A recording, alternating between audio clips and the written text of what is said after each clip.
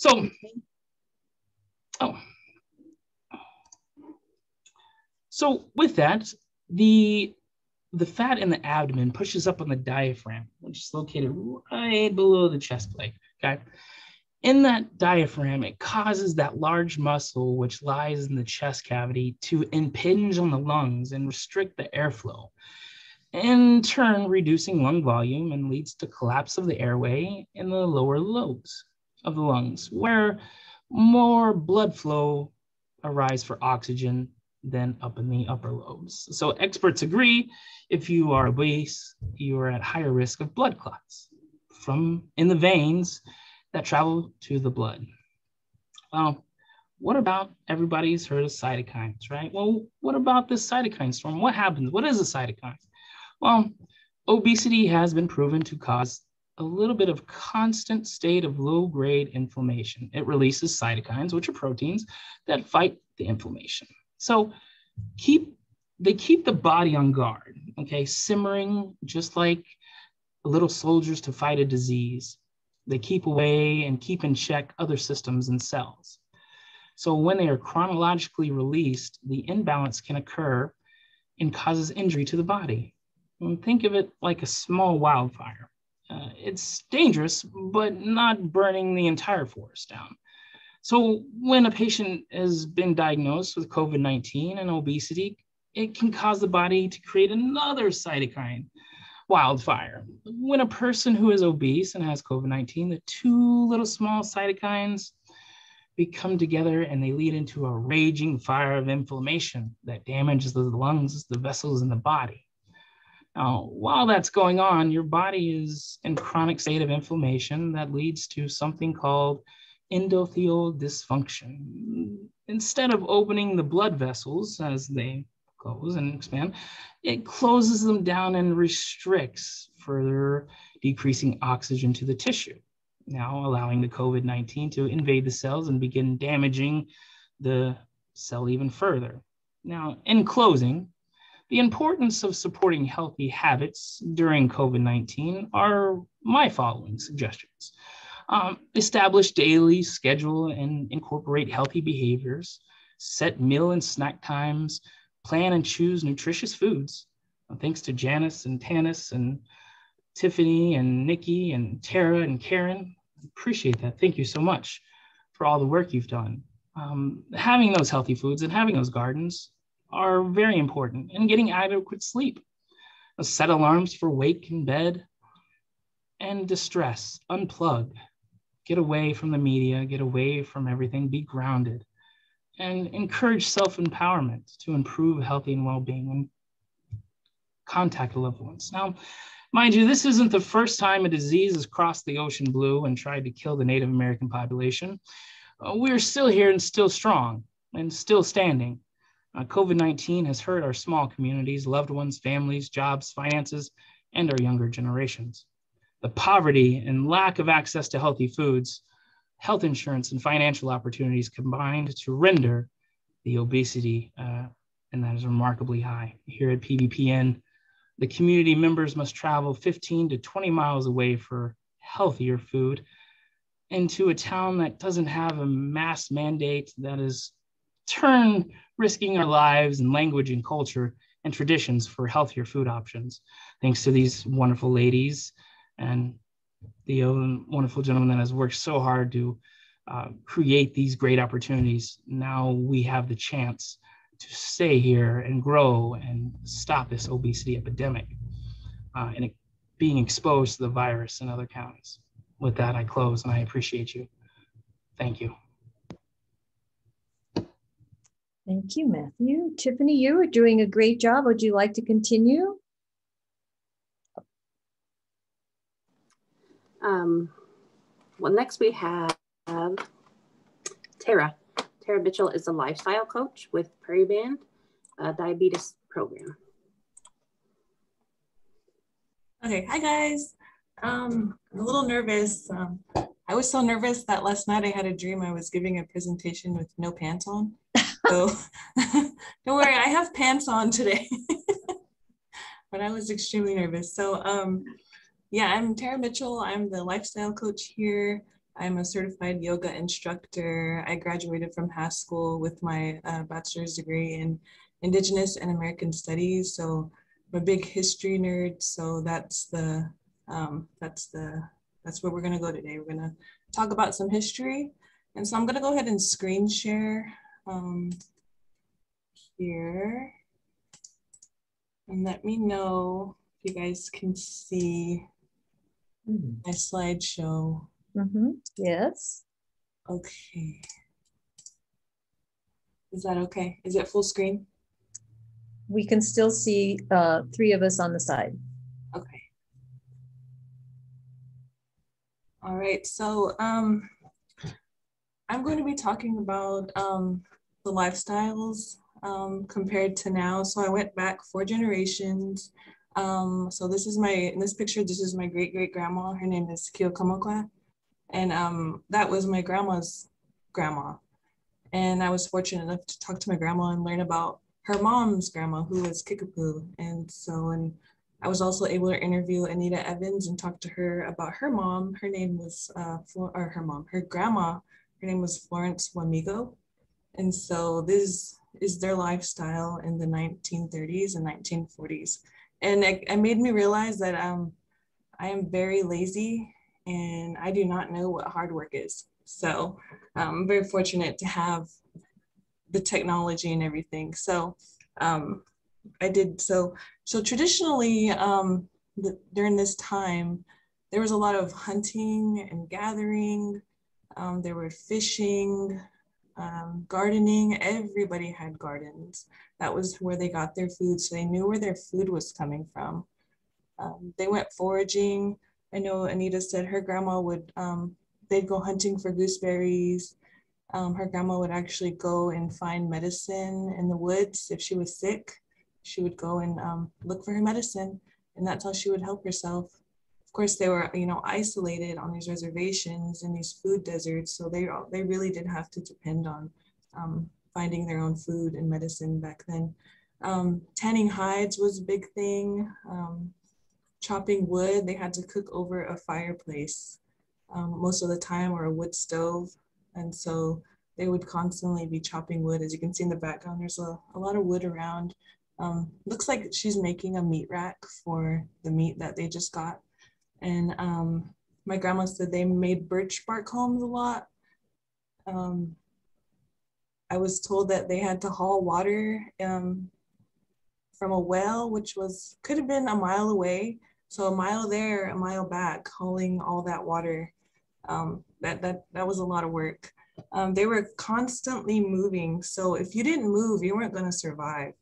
So like me, I just sit at my desk all day, and I can just go go to the Lindy Spring thing and get some water, or I can just go order a food and go pick it up. Like I I, I would I never had to do any of these things, so I think this is really really interesting and how they lived a healthy lifestyle without even knowing that they were, you know, taking care of their bodies. I'm sure they knew, but they really had no choice too.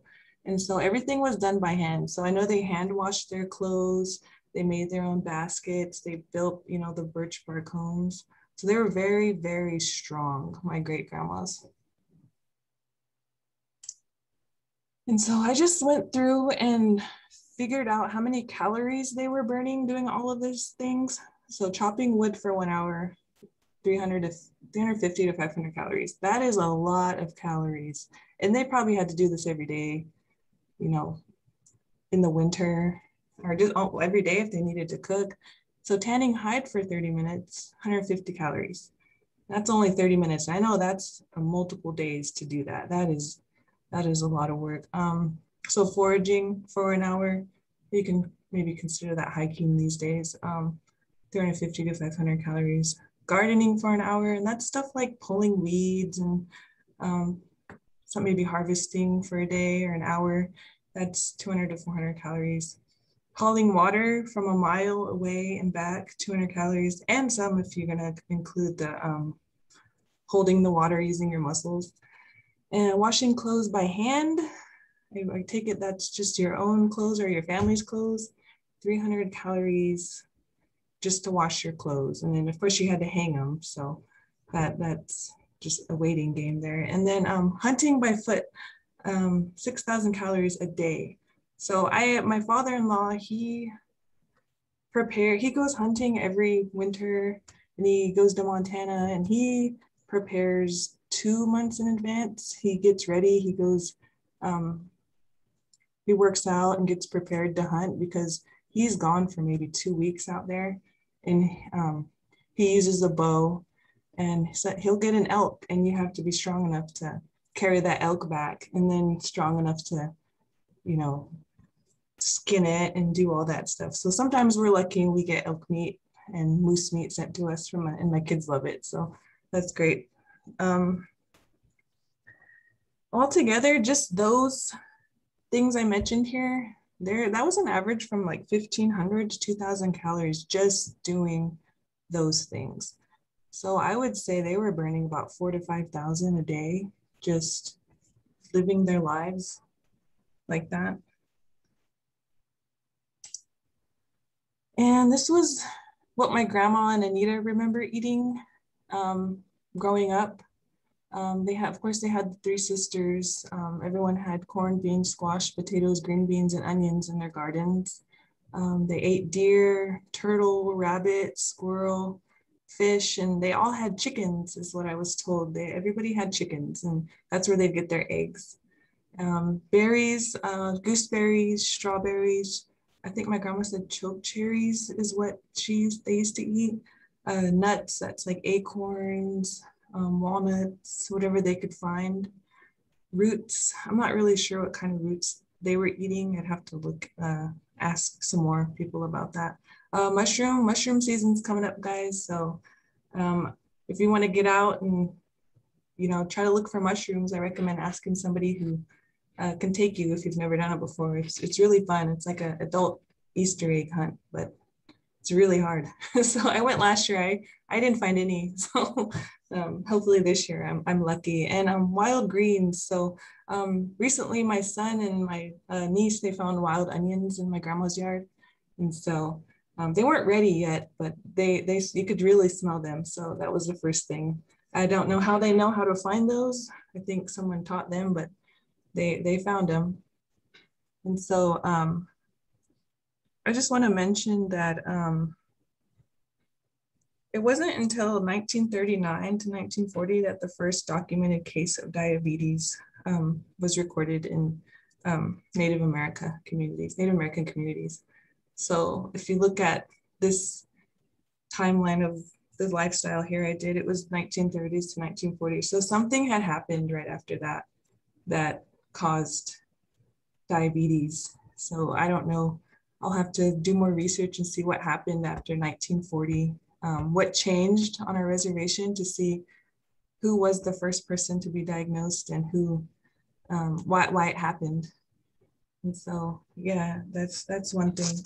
Um, I do want to, in closing, I do want to share this book that we got. I'm gonna take my screen off real quick. Um, okay, um, I wanna share this book here. It's called Let's Eat Good. And these are all um, traditional foods for healthy living. And this was recommended to me by a friend of the Pokagon Potawatomi. Um, he works up there. And I asked him for some recipes, and this is what he recommended. So if you guys are interested in getting one of these books, just um, email me. My email is in the chat box there, and we can get, get some sent to you or send us your information, and we can um, get you one of these books. So um, that's all I have. And if there's any questions, feel free to ask me. Well, Tara, this is Deanne DeRoyne uh, speaking, and um, I just want to say that was a wonderful presentation. Thank you. And it's curious to me because earlier this morning I was thinking about how we need to not just focus on, you know, the contemporary facts that we know about health and nutrition, but it's equally healthy for us to look at our culture mm-hmm. and be reminded of who we are and of where we came from, what we knew, what we can relearn. So that was just perfectly in line with what I was thinking earlier today. So thank you very much. All right, thank you. That's my that's my um, focus here as a lifestyle coach is bringing back some of those cultural um, practices and eating that we kind of kind of have lost. There's still some there, but maybe Mhm. a little more, a little more. Yeah, so we need what Matt can tell us, and we need what you can tell us and what everybody else has to say today, so thank you.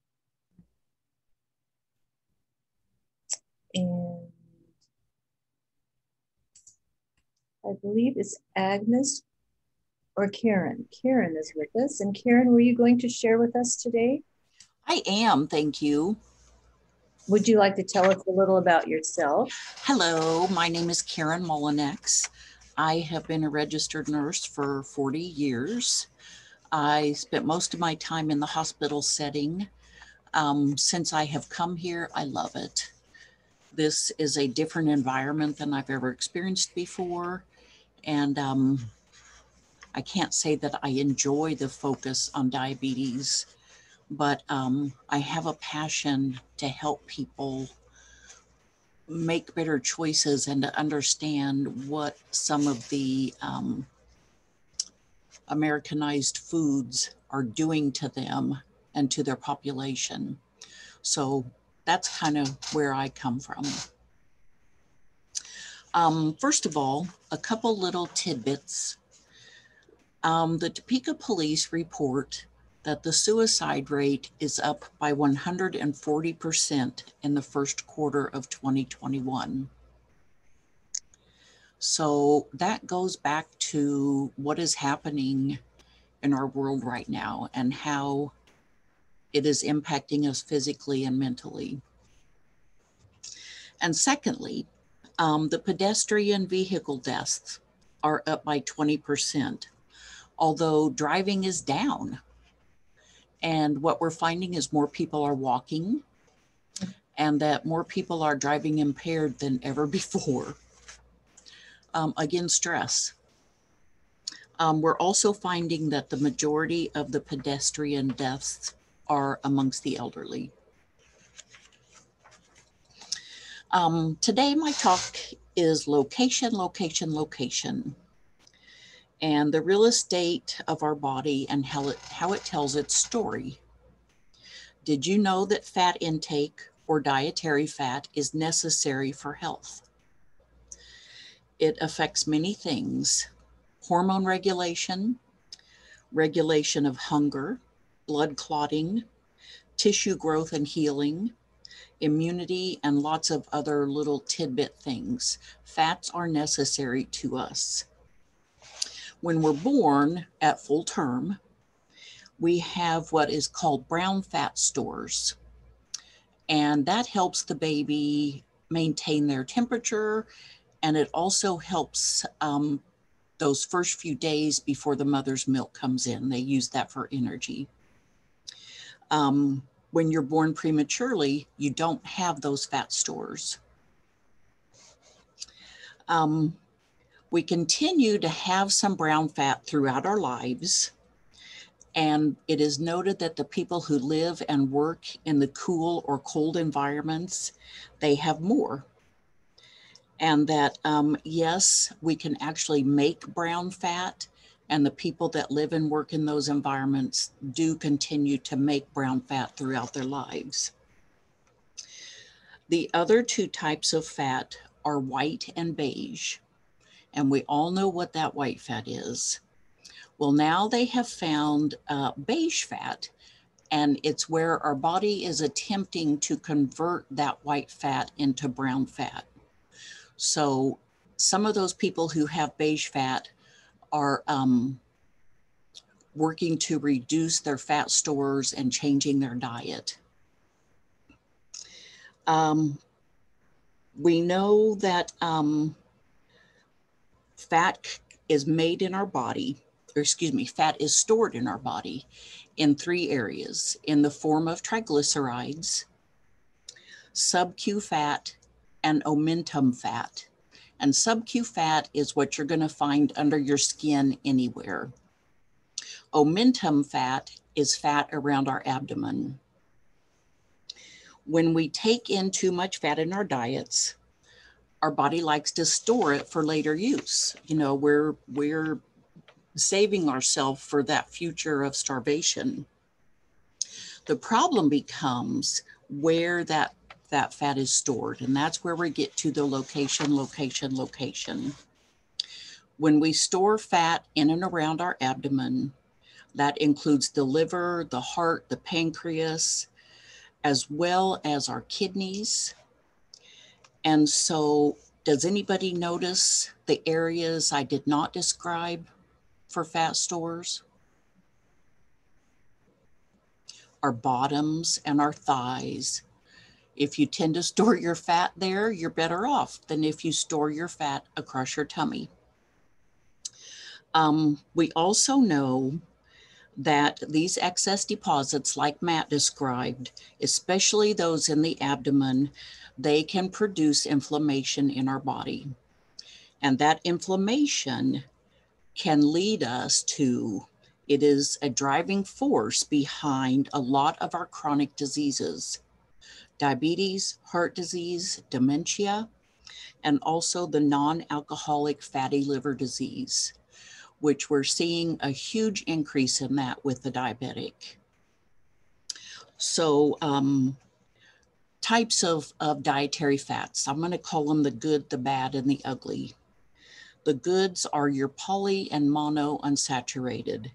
And those are the things that come in typically things grown from the earth.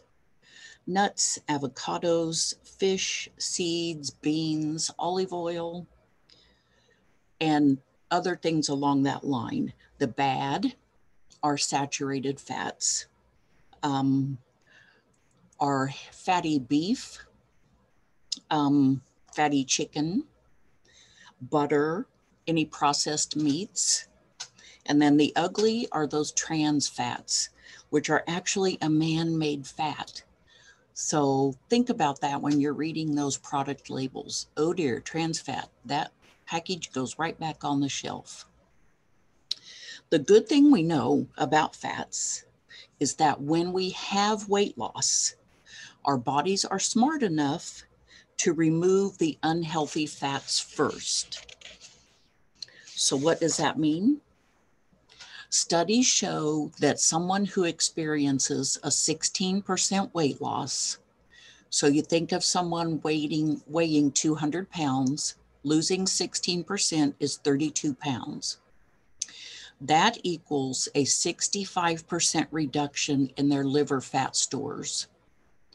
One of the first places our body gets rid of our fat when we lose it is away from the liver. That's good news because that non alcoholic fatty liver disease um, is as bad as diabetes. You put the two together, and then we're really in trouble. The takeaway is Healthy fats are necessary. It's okay to eat them. You need to have them every day. The other takeaway is that it's not necessary to achieve a normal weight. Even a 5% weight loss can give you improvement in your health risks. And I'm a little bit less than 10 minutes, but thank you, everyone. And any questions or concerns, holler at us. That was good new information. Thank you. Thank you. And now we have Tandy Brendis. Karen, we'll Sure. We'll start with our part. Um, welcome to the Lunch and Learn today. And I have the uh, opportunity to introduce um, some members of our team that are working with the Tribal Food Systems Project. And we'll be presenting today a little bit more about um, National Nutrition Month is this month here. And um, it's a national, nationwide event. And our project works not only with encouraging healthy eating, as all of our speakers have been sharing, but physical activity um, resources as well. So I'd like to um, introduce our presenters will be Janice Simon, our project director, and then um, Becky Willman, our nutrition assistant, um, and Nikki Jackson, one of our nutrition assistants. So uh, welcome, and Becky, take it away.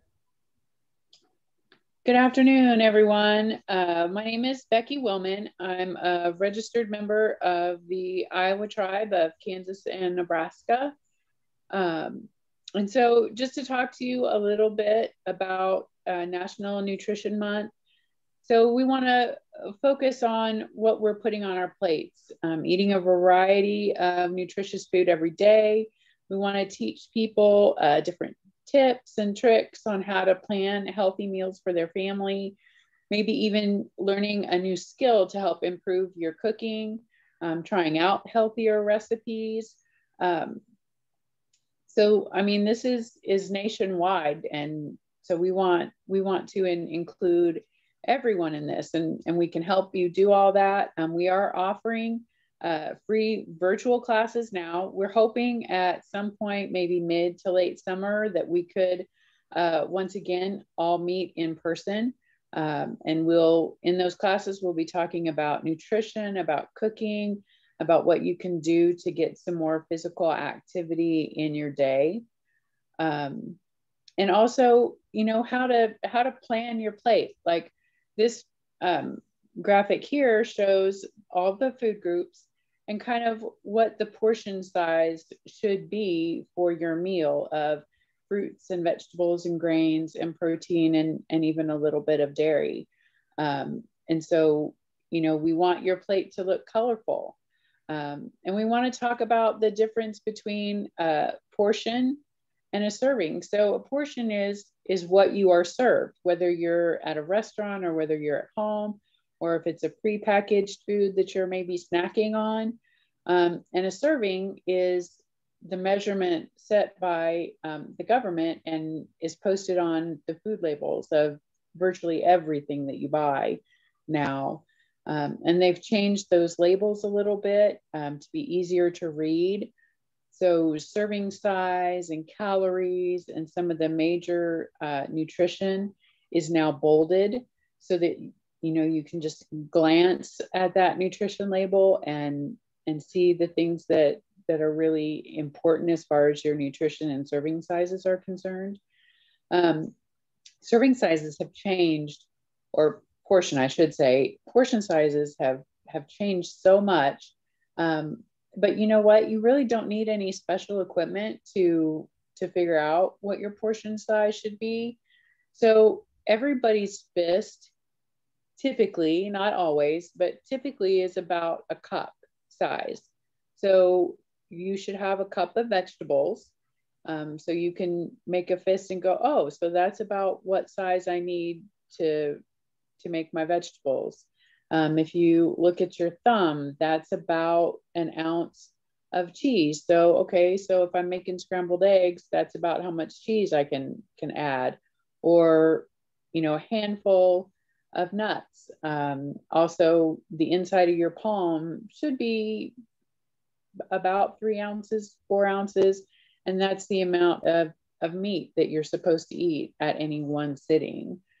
Um, but even looking at, you know, portions from, you know, several years ago, back in 1954, you know, you got one patty on your hamburger, it was about two and a half or three ounces, and that was your portion. You know, today you have three patties on your hamburger and it's 12 ounces. It's nearly 1200 calories, which really is not far off from all the calories that you're supposed to have in a day. Um, we've been talking that even even our dinner plates, you know, when we you know go to Walmart or Target or wherever and and buy our dishes, um, even the dinner plate sizes are bigger. Um, our dinner plates used to be the size of what we would consider a salad plate now. Um, but you know, our our dinner plates are you know eight to ten inches across, and so of course we have to fill them up. So we put more food on them. Um, you know, I think I think portion control is out of control. That didn't make any sense. Thank you, Becky. Um, Thank you. This is Nikki Jackson. Uh, just following up with what she's talking about when it comes to drinks, to the portion distortion. If you get your large cups of soda or whatever, really 400 calories, that big uh, drink compared to your 150 calories for probably a small. Um, paying attention to that and making smart drink choices. Um, some of those um, drinks that you might have, soda. If you're going to drink soda, then trying to drink it every once in a while, not very often in smaller portions. Uh, I know those little cans, like the real miniature, like small ones, are like 100 calories. Um, and I don't know what everybody thinks about diet pop or diet soda, but um, may or may not want to drink that. Um, so other smart drink choices would be milk, low fat or fat free milk, and the nutrients in the milk help with uh, bones, teeth, muscles, and nerves. And then there's other types of dairy if you don't drink milk. Look for eight ounces of fat free, low fat yogurt or frozen yogurt, or even uh, one and a half ounces of low fat cheese is your equivalent to the eight ounces of milk. And if you're like me and you don't really uh, try to consume dairy um, or eat yogurt or cheese, you might be lactose intolerant. I know that's kind of prevalent in Native communities. Or you have allergies, or you just don't like it. There's also ethical and religious reasons. There's other ways to get those nutrients from other foods. Um, you if you want to get the good sources of calcium. There's different options like your rice and soy milk, calcium fortified, calcium fortified orange juice, cereal, canned salmon or sardines with bones, almonds, broccoli, and then your green leafy vegetables like collards, kale, and bok choy. And if anybody likes tofu, I eat tofu, but that's also a good source of calcium. And of course, there's water choose water if you can. I know some people really don't care for drinking water constantly. I find that if you add ice, if you have ice water, it's easier to drink. Uh, it helps control your body temperature, carries nutrients, aids your breathing, protects organs and your joints. Um, I've also um, heard from a doctor that you know your muscles when you have pain in your joints and your muscles the water kind of acts as a lubricant and allows your muscles to kind of glide easier in your body. So it might reduce some of that um, discomfort. And if you also, if you was to use like the sweeteners, the add-ins, um, again, like Becky said, read the labels. You might get sugar or other things that are in there that you might not want to consume. Thanks. Thank you.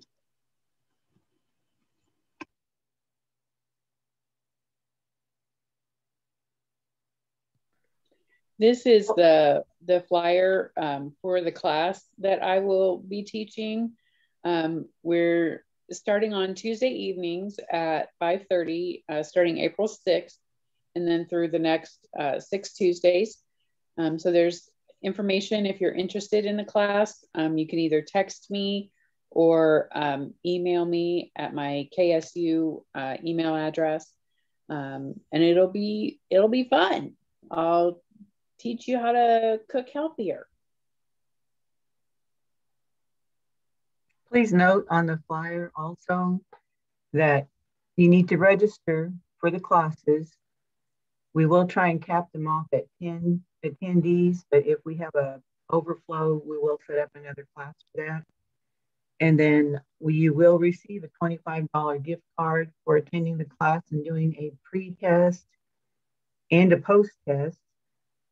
And then we also provide a $10 gift card for you to buy the ingredients for the recipes for each week to cook along with Becky, if you're interested in that. And then also on top of the gift cards, you will receive um, incentive items throughout the classes, like measuring cups, measuring spoons, um, spray water bottles to wash your vegetables with, uh, vegetable brush, chopping boards. We have a lot of cool stuff.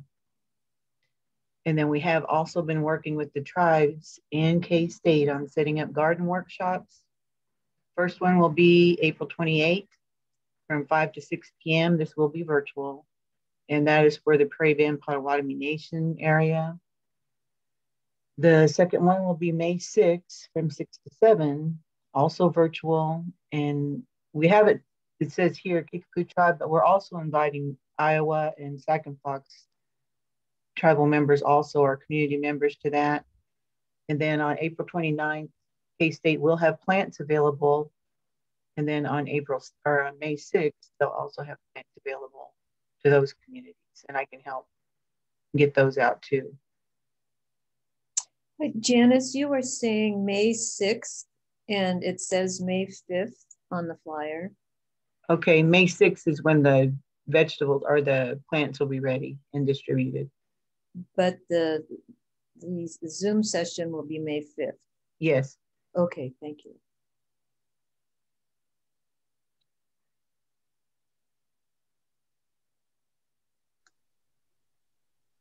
Thanks for letting us share about the Tribal Food Systems Project and some of the things you might be able to learn in classes with us. Well, yes, and thank you all. Um, so let me do my welcome now that we're at the end. I'm sorry, I was having some Zoom issues. Um, so I'm Deanne, and along with Zach Pahmahmie, Vice Chair of Prairie Band, we are the co-chairs of the Tribal Health Summit Planning Committee which is now in its at least ninth year. And we are the folks who do the annual Tribal Health Summit, normally at Prairie Band and the Conference Center. And last year, last August was the first time we did it virtually. And so the Tribal Health Summit Planning Committee, of which Tiffany Lewis is our new coordinator, and we are delighted to have her. She is scary. She is so organized and so efficient. It's wonderful to have her help. Um, and so we will begin the planning for the for the summit in April at our next monthly meeting. Um, some things that I thought would be uh, good for you to know is that we hope that these lunch and learns uh, are helpful to you and that um, and your constituents. I think that those of us who are here today are sort of the ones who, who usually do the health education work. And what we need to figure out is how to expand um, into our communities to let people know that we're doing this.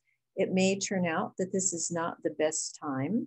And if there, or the other option is that uh, if we are able to get people's permission to record these sessions, then we can make them available whatever time is convenient for them, although obviously the Q&A won't be possible. Um, a couple of other things I wanted to say. Um, oh, I know, I did want to talk about the fact that the Food Systems Project, of which Tandy is the um, overseer primarily. Uh, Janice is the director, and she has uh, the, the direct contact with the four tribes. All of the four tribes early on said yes, they wanted to be involved. And the overall purpose of the Food Systems Project is to look at where most of our communities are getting their food you know, how much from the store, how much are they growing, fishing, hunting, foraging, etc. What can be done to increase the availability of healthy foods and the healthy preparations of those foods. And it was so wonderful to get a little bit of history about um, how that used to happen. And I also thought it was great when Becky was talking about, you know, no measuring cups and spoons, because I'm thinking about my grandmother you know, grabbing a handful of flour and throwing it in the skillet when she was making gravy or whatever. And it's sort of like, we didn't used to have cups and measuring spoons. So, you know, there's a lot, a lot to be learned, but it's really wonderful that you're here with us today. Matt and, um, you know, Tara and, uh, you know, um, you know, Karen, I once, I think I may have told you this. I once knew someone from the California Indian Education Association whose name was Agnes Molyneux. And so I always want to call you Agnes and I apologize for that. But we appreciate, uh, you know, everything that you had to say and likewise the, the crew from uh, the Food Systems Project, that was great. So if you have ideas for us about um, how you think we could do a better job of lunch and learn, uh, any aspect, timing, scheduling, whatever. Um, if you have questions, if you have suggestions for other topics, all of that we would love to hear. And I believe that Tiffany is going to show you uh, her contact information, which all of you probably have, but just in case, um, she is going to be the person who collects this information for us. Now, let me see, I've got a couple more minutes here, and I wanna let you know that um, the Tribal Health Summit Planning Committee is in the process of becoming a not-for-profit organization. because there are other people such as K-State Extension, uh, you know, who would like to work with us, uh, but they can't because we don't have nonprofit status. And so in part of that, uh, one of the fun parts is deciding what our name should be. So we are currently looking for a good name for the tribal for when the Tribal Health Summit Planning Committee becomes its own nonprofit. So if you have any ideas related to health, native culture, native history, nutrition, uh, the elements, uh, whatever uh, clever ideas you have, uh, send those to Tiffany too, and uh, let us know whether you would like to be anonymous or if it's okay if we say this name was this great name was suggested by Janice, for example. So, so does anyone have any questions uh, or thoughts or comments they would like to share today? And if not, thank you all very much for helping us launch Lunch and Learn and for sticking with us. And we hope to see you uh, next month. And Tiffany, would you like to remind us what next month's uh, topic is?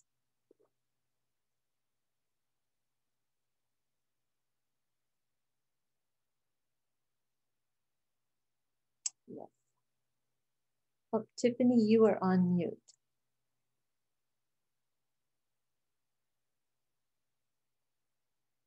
Tiffany did have to leave for 15 minutes, and it may be that she um, wasn't able to come back as soon as she thought she would. So let us just say you will be hearing from us.